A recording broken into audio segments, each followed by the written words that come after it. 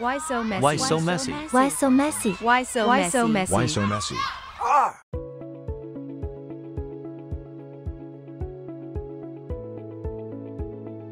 Hi, I'm Jamus. Welcome back. In the previous episode, Louis had explained to us about the fundamental tension between the need to appreciate house prices in order to ensure retirement adequacy versus the need to keep housing affordable, especially for those who are just entering the housing market and stepping on that housing ladder. In order to get a better understanding of all that has transpired, I think it's useful for us to look at history.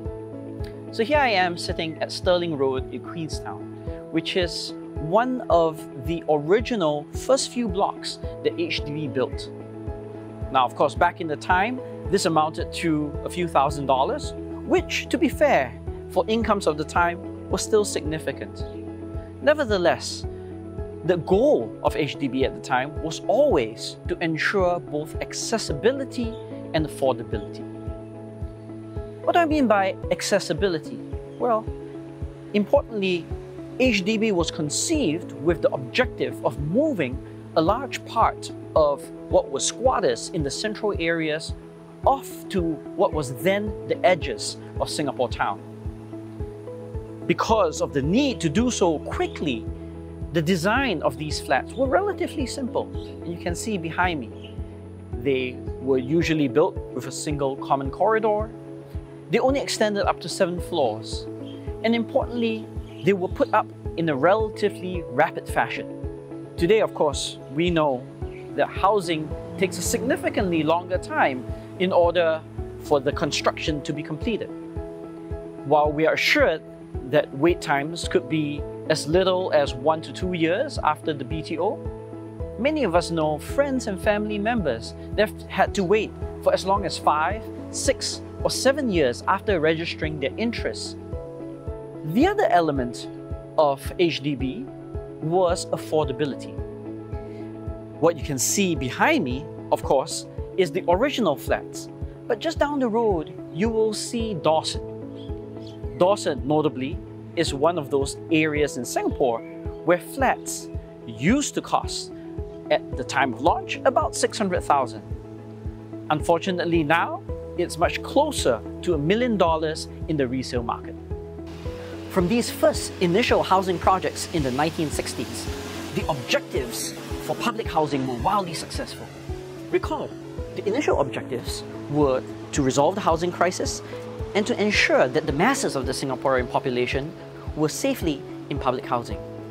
As it turns out, thereafter, from an initial share of just around 8.8% housed in these public flats, we were able to raise this to something in excess of 80% of the population.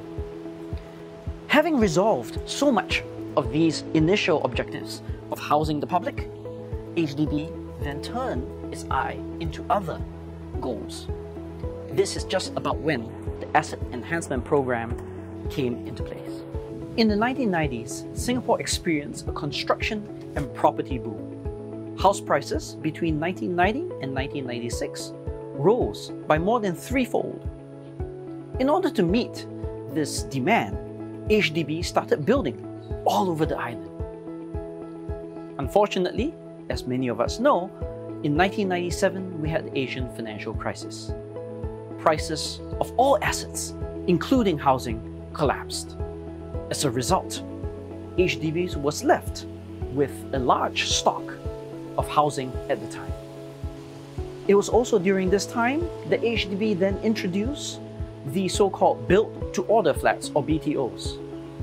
BTOs ensured that HDB wouldn't be left with massive unsold supply because flats would only be built on demand. As a consequence of these policies, many Singaporeans came to expect that their house prices would move in only one direction up but never down. Singaporeans came to believe that their houses would in fact be a key source for their retirement. Unfortunately, in 2017, then Minister for National Development Lawrence Wong suggested that the SERS program would only apply to a small fraction of HDB flats. Hence, for the vast majority of Singaporeans, this would not be available for their retirement incomes and their flats will eventually expire with a value of zero. How then does the government plan to address this conundrum? We'll talk about that in our next episode. You know, we live in Singapore where not everyone um, has been able to afford a home.